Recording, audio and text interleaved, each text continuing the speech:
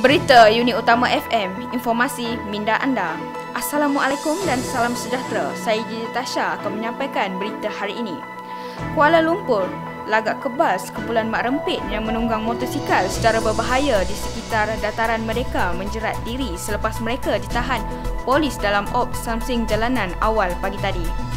Ketua Jabatan Siasatan dan Penguatkuasaan Trafik JSPT Kuala Lumpur, Assistant Commissioner Zulkifli Yahya berkata, operasi itu dijalankan pasukan anggota risikan dan operasi JSPT Kuala Lumpur yang diketuai Inspektor Zarul Fikri Hamzah pada jam 1 pagi. Operasi tersebut berjaya menahan lima penunggang motosikal berusia 18 hingga 27 tahun.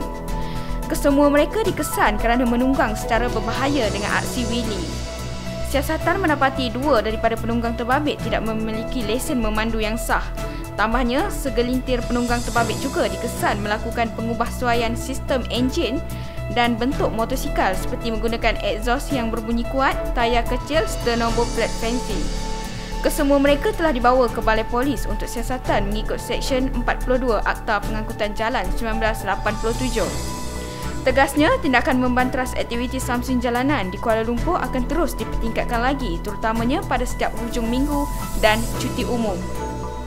Beralih ke berita seterusnya, Kuala Langat, seorang pekerja kimpalan maut selepas tangki minyak disil di sebuah kapal di Jalan Bandar Lama, Teluk Pali Megarang di sini meletup semalam. Timbalan Ketua Polis Daerah Kuala Langat, Deputi Superintendent Kamal Arifin Aman Shah berkata pihaknya menerima maklumat kejadian itu selepas menerima panggilan dari Balai Bomba dan Penyelamat Teluk Pali Megarang pada jam 11.45 pagi. Menurutnya, ketika kejadian, mangsa yang merupakan warga tempatan bersama serakan sekerjanya warga Indonesia sedang menjalankan aktif kerja-kerja kimpalan berdekatan tangki disir dalam kapal berkenaan. Namun secara tiba-tiba berlaku satu letupan angin serta asap dari tangki terbabit. Beliau berkata kejadian itu menyebabkan mangsa berusia 31 maut di lokasi kejadian manakala rakannya parah dan dikejarkan ke Hospital Tengku Ampuan Rahimah Kelang.